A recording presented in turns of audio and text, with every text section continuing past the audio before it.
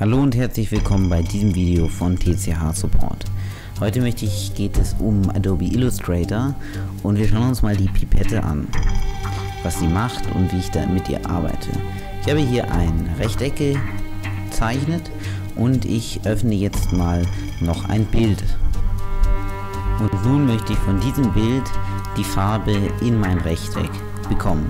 Und das mache ich am besten mit der Pipette.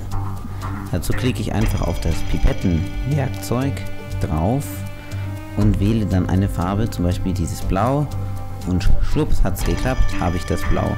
Das geht auch mit anderen Sachen und damit kann ich mit einem sehr einfachen Weg die Farbe von meinem Rechteck anpassen.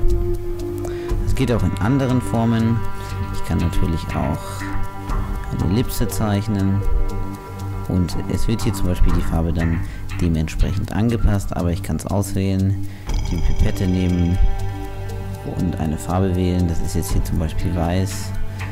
Naja, es gibt auch nicht so wirklich andere Farben, aber somit kann ich dann einfach die Farbe mit der Pipette auswählen und an ein Objekt, sag mal, dran zaubern. Okay, dann hoffe ich, habt ihr das verstanden. Und wenn ihr noch Fragen habt, wie immer, video at tch-support.com.